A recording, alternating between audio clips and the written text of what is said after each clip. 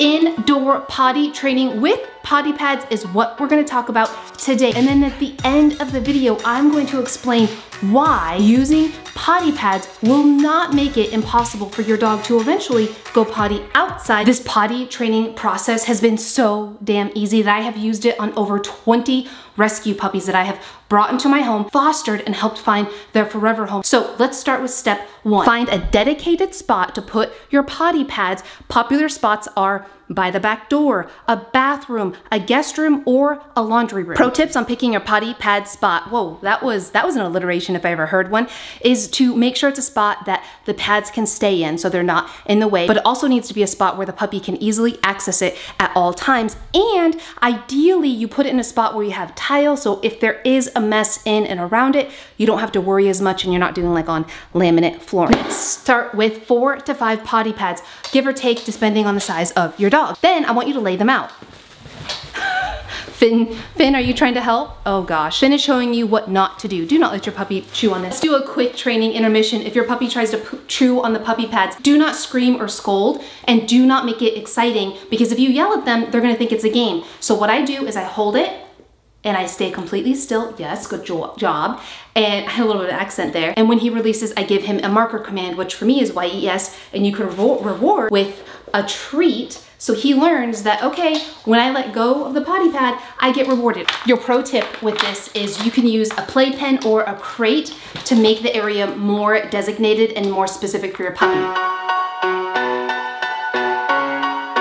Like this playpen because it comes with a little built-in door, makes it easy for puppies to go in and out. When you're laying down your potty pads, make sure you overlap them just a little bit and you have at least a few inches outside of the playpen or crate. To start, you'll wanna introduce your puppy to the potty pads. So you can walk over to the potty pads with them and let them smell it and reward every time they smell it and show interest. But as you saw earlier, do not reward if they start playing with them. Instead, redirect and get them focused on something else and try. Again, only reward when they show interest in it, smell it, but not when they try to bite. Next step is walk them to the potty pads every single hour. Yes, once an hour, I want you to walk them over to the potty pads. Good job, Finnegan. In addition to that, you're going to walk them to the potty pad area after they eat, sleep, or play every single time. So that means that you're gonna be making a visit to this little dedicated potty indoor area several times a day. And for those of you who are subscribed, you know that I like to get the most bang out of my buck on training. So what I recommend to do as a pro tip is you can use a leash with a harness on your puppy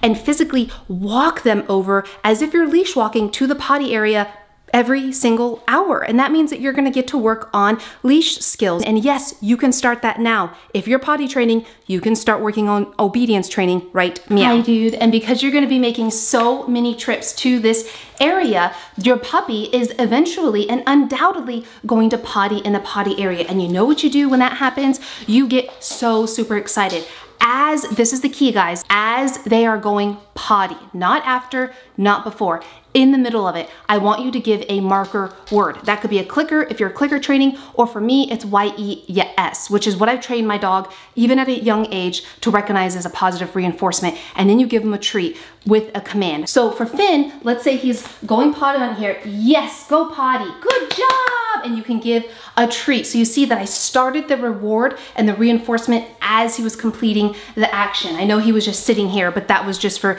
demonstration. And now a brief message from our sponsor, Finn. just joking. Finn's not really your sponsor, but he does want to remind you to click that subscribe button and to let you know that we are doing our first giveaway ever of an awesome product for your dog. All of the details are linked in the description down below. You do this enough times, eventually they will learn that going potty on the potty pad is a fun, exciting thing. And guys, all dogs are eager to please and dogs want to learn. So give them the chance to learn. Now, what happens if your dog goes potty off the potty pad. Well, if you ask Finn, because he had experience with this when he was a puppy, no big deal. Don't scream, don't yell, don't scold, don't rub your puppy's nose in it. What I do with all the rescue puppies that I have fostered is I simply pick them up and I put them on the potty pad. Most times they still need to go a little bit, so they'll continue going potty on here. A pro tip on this is watch your puppy for signals. A potty signal is typically sniffing the ground or pacing back and forth. If you see that, gently pick them up or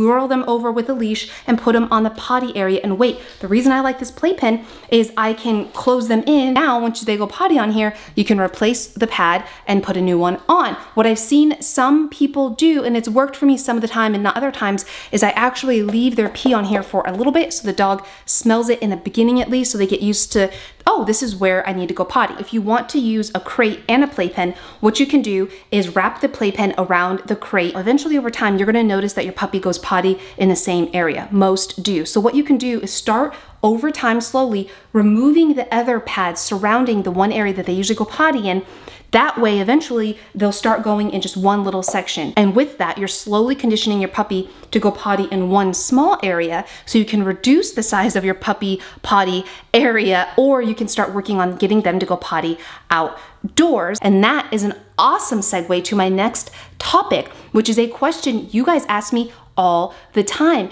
And it is Rachel, if I potty train my puppy indoors using potty pads, won't that make it impossible for them to learn to go potty outside? And I'm gonna answer that question, but first I wanna talk about using potty pads indoors and indoor potty training. One thing I have learned after working with thousands of you, I'm sorry, I sat on your paw, is Undoubtedly, there are people out there that are not able to let their dog go outdoors to go potty every single time the dog needs to go out. There are times where people have extreme weather, they may be stuck in an apartment or whatever the reason is, they may not be able to take their dog out as often as the dog needs to go. So their only option is to potty train indoors. That said, if it is an option for you to potty train your dog outdoors instead of using potty pads and instead of getting them to go potty indoors, I do recommend it. I do find that to be the most effective and easiest way to potty train a dog. In fact, I have a one-step potty training process linked right here that has literally helped thousands and thousands of you guys. Now, why is it that I believe you can still use potty pads indoors, that you can eventually get your dog to go potty outside? Well, reason number one is I've done it several times. I have fostered dozens and dozens of rescue puppies that came with zero training, and I used this process time and time again. So for me, it's tried and true. And the second reason is I don't think we give dogs enough credit, me included. Dogs are smart, and while it may slow your process down a little bit, you may not have an option. You may be adopting your puppy in the middle of a dead winter storm and you can't go outside. I get it and I don't judge you for that. And the way you graduate your puppy from using a potty pad to go outdoors, one easy step is once you limit your potty pads down to one and they're consistently going potty in that one square, over time, several days, move that potty pad towards the back door. Once you get to the back door, leave it there for a day and have them go potty on the potty pad on that back door. Then you can start walking them outside going back to step one of this video, meaning you take them outside, you can do it on leash if you want, every hour. I know that sounds insane. Trust me, the time investment up front is so worth it down the road. Consistency matters. And then, because you've been practicing putting a command to it, if you're going outside every single hour and you ask your dog to go potty, they are going to know, okay, go potty means I need to relieve myself. All right, they may not get it on the first try or the second try, maybe not even the fifth try, but over time, if you consistently go outside, they're gonna have to go potty and then they're gonna go potty outside and you know what you're gonna do? You're gonna reward the heck out of them. You can use treats, play, or praise. And you do this enough times, your dog's gonna learn to go potty outside. It's all about consistency and it's all about realizing that your dogs can achieve this. It's you and me, us as the humans, that have struggles. Your other major pro tip is me. I know this sounds silly, but what I mean is let me help you. I make these videos to help encourage you guys. I, in fact, I have videos on crate training linked up here, which again have helped thousands of people. I also have indoor brain games for puppies linked up here as well. But if you go down in the comment section here, I can help answer your questions. You can also connect with me on Instagram and Facebook, and that has been an awesome way for me to connect with you guys directly and help you with your one-off specific questions. But what I do encourage you to do is go check the video playlist uh, I have linked down below. I have entire playlist series on everything you need to know for your puppy from the best food to the best toys.